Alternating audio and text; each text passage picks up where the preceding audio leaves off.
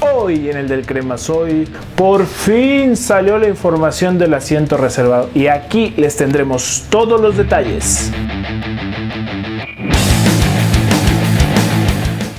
Sí amigos, así es, por fin salió la información sobre el asiento reservado para el torneo del centenario. En esta ocasión se venderá solo para el torneo del centenario, el torneo del Apertura 2016. Incluye todos los partidos de liga y de liguilla en caso de calificar y también de copa y de la fase final de copa en caso de calificar. Son 11 partidos hasta el momento que podemos decir que incluye este pase. Son dos clásicos, Pumas y Chivas. La renovación para los que ya tuvieron asiento reservado el año pasado será a partir del 27 de junio. Por su parte, la venta general al público que apenas va a tener por primera vez el asiento va a ser a partir del 1 de julio. Los precios son especial bajo lateral 1499, especial bajo cabecera 1199, preferente plus 1499, preferente 949 y ahora se hizo la modificación de general que se llamará alto y tendrá un precio de 849.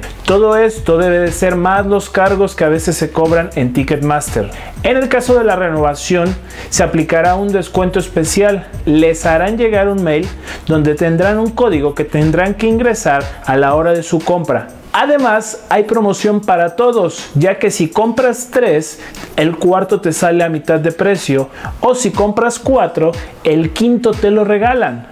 En el caso de las personas que adquieran por primera vez su asiento reservado, como ya dijimos, será a partir del primero de julio, ya sea en Ticketmaster o en los centros Ticketmaster más cercanos. Les entregarán un boleto el cual tendrán que llevar al Estadio Azteca a las taquillas para canjearlo por sus credenciales. Deberán llevar una copia de identificación oficial y el boleto que les entreguen en Ticketmaster. Esta credencial que les entreguen servirá para entrar a todos los partidos que el América juegue en el Estadio Azteca. Este es el año del centenario, es el año de la gran ilusión que hemos estado esperando. Por eso es muy importante prever la compra del asiento reservado para evitar filas, para evitar aglomeraciones como se lo dijimos en el video de 10 razones por qué comprar el asiento reservado. Si tienen alguna pregunta, aquí abajo nos la pueden dejar. Si te gustó y te sirvió este video, por favor dale pulgar arriba y compártelo con alguien que le pueda servir. No se olviden de suscribir a este canal aquí abajo, así ayudan a que este